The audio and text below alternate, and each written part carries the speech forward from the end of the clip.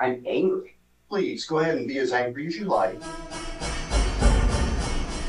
Um, and It's far above my pay grade to go and analyze what happens in a big city. Strange, very strange. And how do you know that there's prejudgment? Well, I don't know much. yes. Mr. Kohberger allegedly stalked one of the victims. That's false. There's a lot of information in that affidavit that is just flat not true. I'm angry. Please go ahead and be as angry as you like. We have found that our commenters have an awful lot to say to us. Most of it good, not always, but mostly what they like to comment about is this Kohberger Idaho 4 case. So today we've pulled some of your comments and we're going to see what you guys have to say.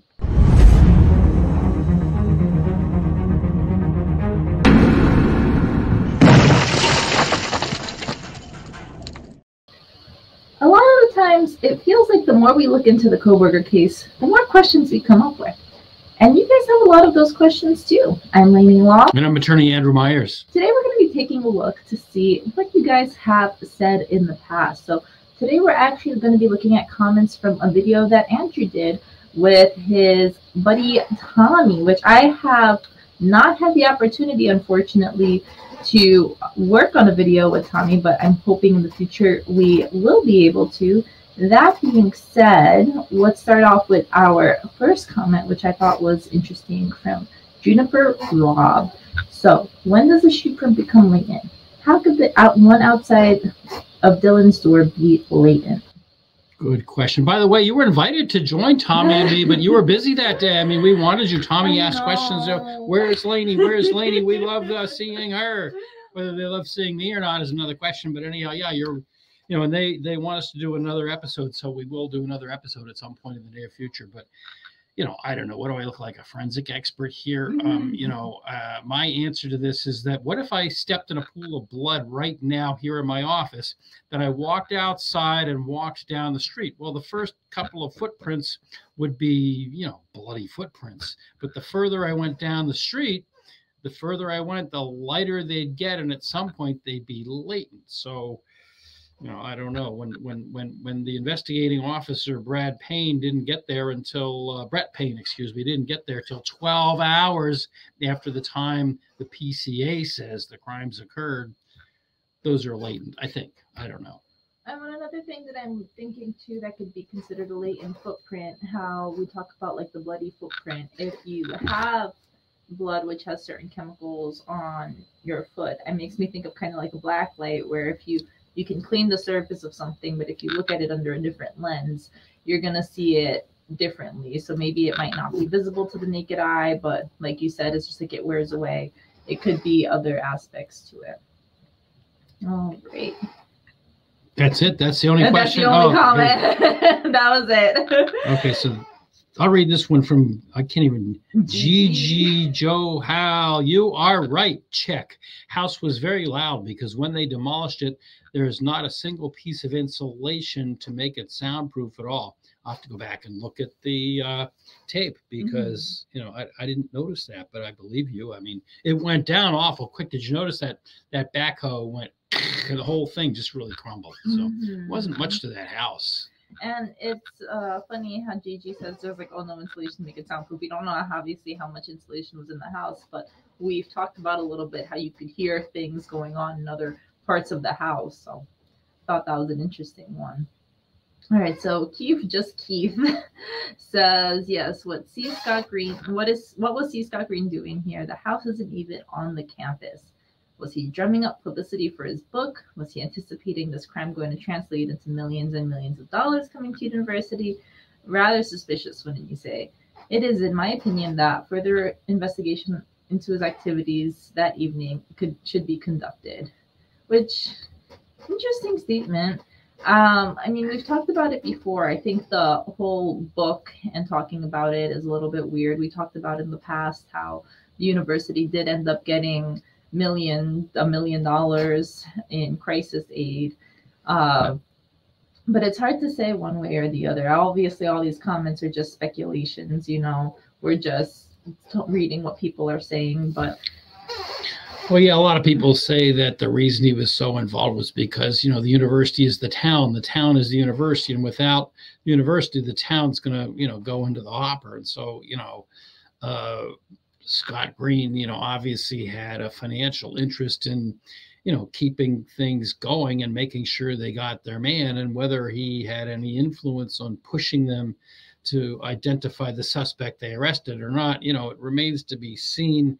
It's just I don't know if any ethical rules were broken. I don't know if any lines were legally broken, but it's just unseemly. That's all. It's very unseemly. Mm-hmm.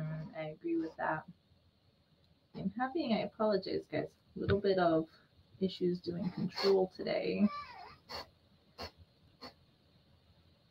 Tried out a new format, and the new format does not want to cooperate with me. There we go.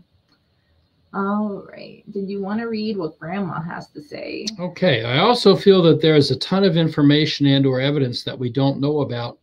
If I had to adamantly argue guilt or innocence at this point, I could make a case for both with the information I've seen so far. I still have a problem with the idea that there was only blood in the bedrooms and not trailed in or out of the house. Well, you do have to remember that all we have is the little bit of limited information that they unveiled uh, with the um, probable cause affidavit. And so, obviously, I know there are people that disagree with me, but they're wrong because there's a lot more evidence. If you've ever, you know, watched uh, or followed legal cases like this, all the way, you know, from the time the crime occurred through discovery, through pre-trial up to the trial, there's a lot more. There's a lot more evidence, and and whether that evidence is really the smoking gun that some people say that William Thompson has or not, I would be comfortable arguing for Mr. Kohberger's not guilty at this time, based on what we know, based on what we've seen, based on the facts that have been um, unveiled. I am very comfortable uh, if we wanted to argue, assign somebody to argue for his innocence. I would do it because I don't think there's enough there. But I mean, my mind is open, and I know that as a matter of fact, there's a lot more evidence than what we've seen. Mm, And you can tell it's extremely divisive too. And one of the reasons that we love running this podcast is because as we talk about more and more evidence, almost you'll see it in almost every one of our comment section where people are saying he's guilty, he's guilty, he's guilty, he's innocent, he's innocent, he's innocent. Uh, everyone's entitled to a presumption of innocence until proven guilty. But grandma, you have a great point here where it's like you could go either way. I think uh, we obviously we don't have a lot of the evidence, but that's what makes this such uh, interesting topic to talk about because you see people completely so split when there's not really anything leading to one way or the other. Yeah, the danger uh, that the um, prosecution uh, faces now that it's been way more than a year is that, you know, people have had a chance to pick apart literally every sentence of the probable cause affidavit. The issue with the car, the issue with the word stalking, uh, the issue with the uh, DNA on the knife sheath. I mean, how in this creation can there be, you know, one teeny, teeny, teeny little bit of uh, DNA on the snap button on the sheath, but nowhere else. I mean, all these different issues, you know, have, there's been time to just really look behind the curtain, so to speak, and and unveil it all. So, you know, and as time goes on, that's going to happen more and more. But that's just my two cents. Do you want me to read the next one or? Yeah, but I do want to add. I mean, we talk about like it has to be uh, beyond doubt when if someone's convicted, and like you said, such a small amount of evidence, DNA connecting him does not sound very good. All right, you can read Susan's comment. Susan, great episode. Thank you, Susan. Your check is in the mail. Great episode. I agree. As a juror, I'd want to hear the sounds within the house.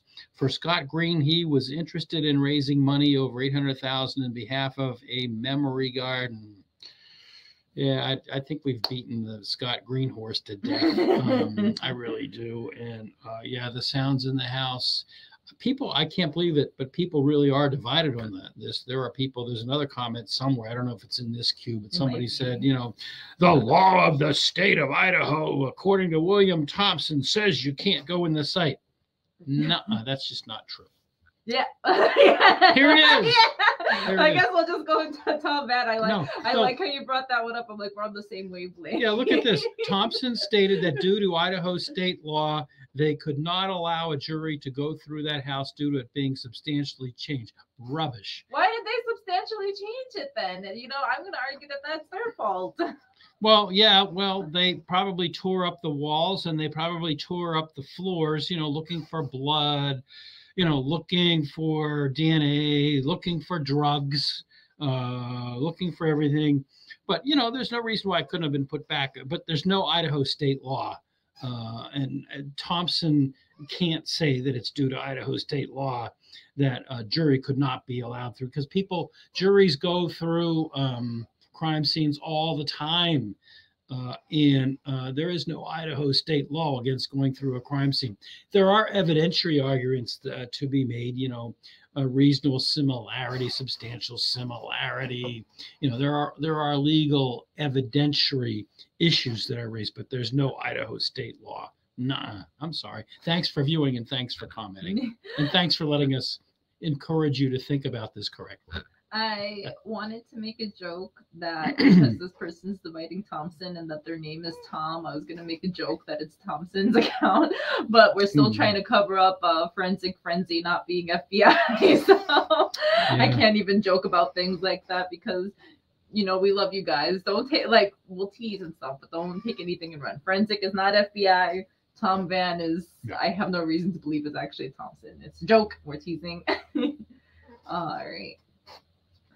So we have Randy Hansen. Question: How many car identification witness expert witnesses will Anne bring in to prove that the FBI expert correctly identified a 2011-2013 white Elantra? Don't tell me that video is too grainy to identify the car. The FBI expert already did, and that is something that I'm curious to see if they really try to go into, if they really try to pursue that route, because the pictures, I mean, they were blurry. I'm not a cars expert. All cars look the same to me.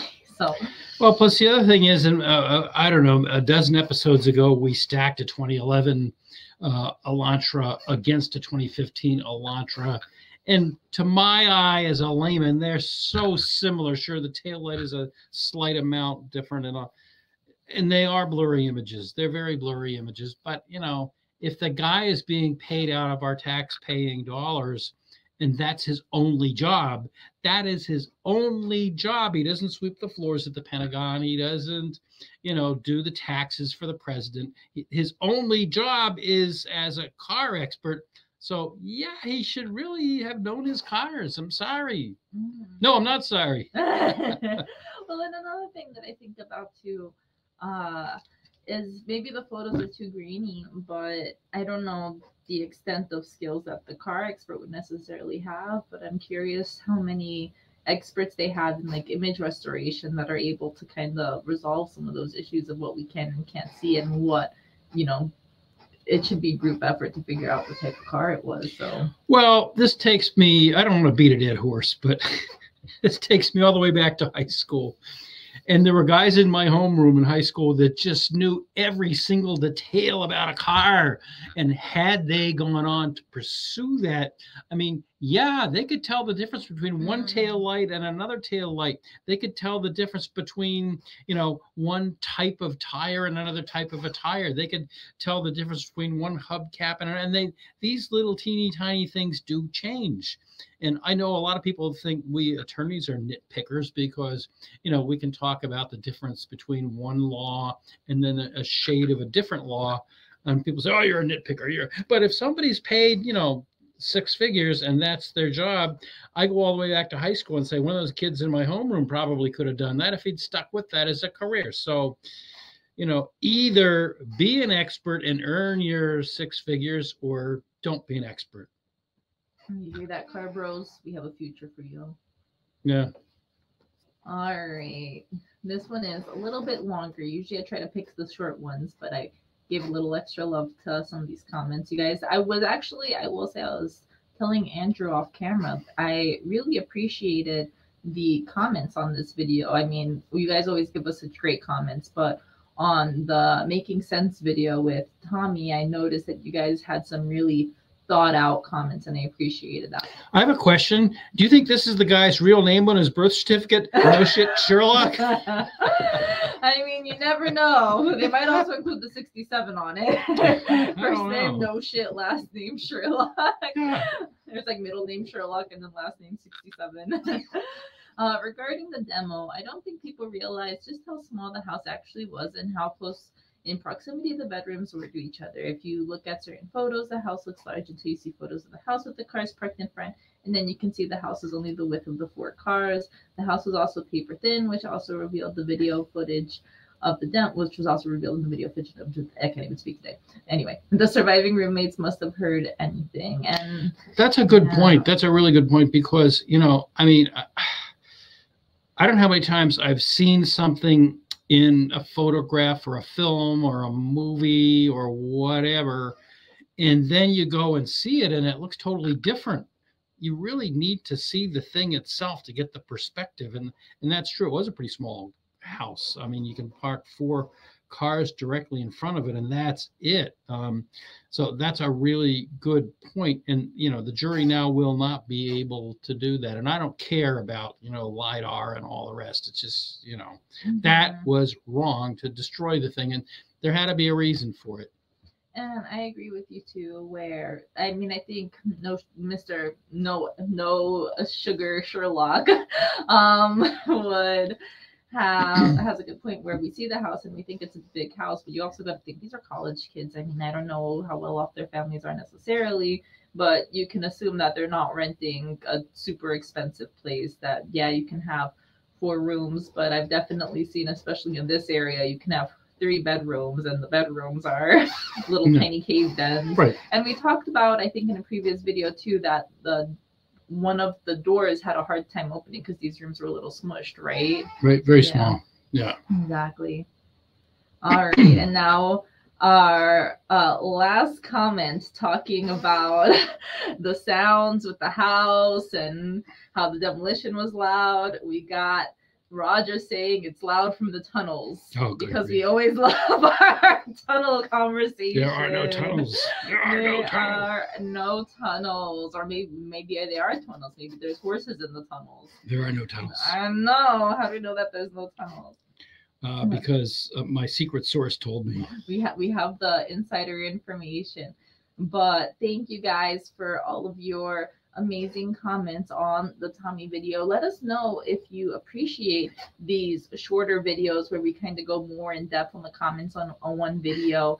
Uh, you guys always have such awesome stuff to say and it gets to the point where i'm trying to find comments and it's hard to pick it out because we're trying to keep things a little bit tighter and not go on and beat a dead horse that may or may not be found in the tunnels but I would love to hear what you guys think. Andrew, is there anything you have to say to the good people at home? Well, yeah, you know, it's good to get the comments. Uh, we do get some good comments, and you know, it's just this case has so many quandaries about it, and the, the mystery deepens. It doesn't it doesn't get any better. Uh, and uh, with that uh, hearing that occurred on April 10th, uh, there were a lot of uh, comments about how William Thompson had said that uh, there was no stalking, and I think I'm going to do an episode on that because did he really say that, or was he taunting the expert into admitting something that was taken out of context? So, you know, there were a lot of comments about how, um, well, there was no stalking. And so,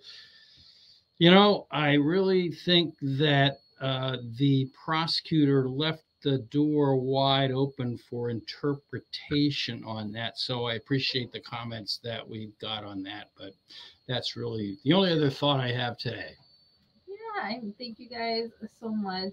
Please continue leaving insightful comments on our video, like, comment, subscribe, and you never know, maybe your comments will be in the video.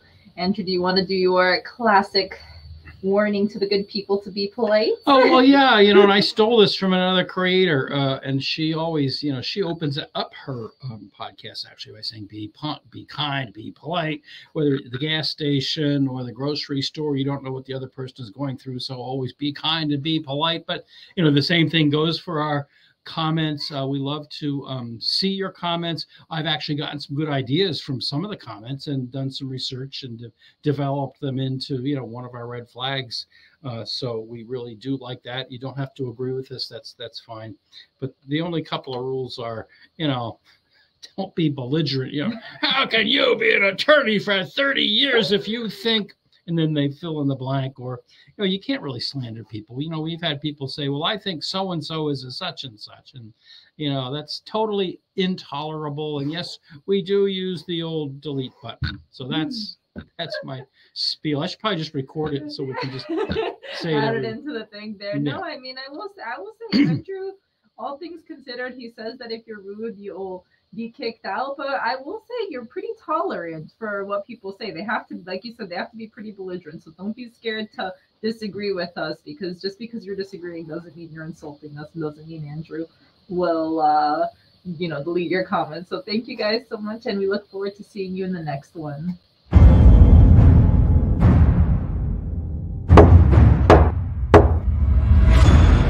You have been watching About the Law, a production of the law offices of Andrew D. Myers in Methuen in the Merrimack Valley of Massachusetts and in Derry, just outside of Manchester, New Hampshire. Remember to click the like and subscribe buttons down below. And if you enjoyed this video, be sure to share it with your friends and others.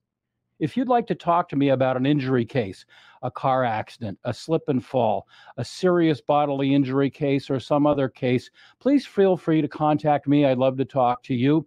You can contact us through my website at attorney myers.com. We have a contact us block, or you can call on one of the telephone numbers we've given there, or you can email me at andrew at attorney myers.com. The foregoing is offered for informational purposes only. It is not intended as and does not constitute legal advice. Laws vary widely from state to state. You should rely only on the advice given to you during a personal consultation by a local attorney thoroughly familiar with state laws and the area of practice in which your concern lies. This podcast must be and hereby is labeled advertisement in some jurisdictions.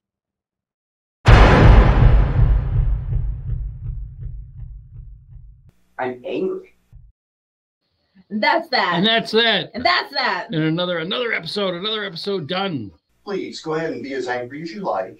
and we're gonna have an episode covering why the house was so loud that it destroyed the tunnels underneath. Well, I don't know about that, but there was no, there was, there, you know, you, you know why there wasn't any insulation? The horses ate it all. Oh, now the insulation got knocked down into the tunnels, so now the horses will have to go through the tunnels to eat the remains. Do you think it's, do you think it's a, a, a coincidence that the president who wrote a book about this, re, you know, resolving the institution's uh, solvency, his last name is Green? Maybe he's green. Maybe he's related to the horses. He's eating the green pastures. It's not easy being green. I'm angry. Please go ahead and be as angry as you like.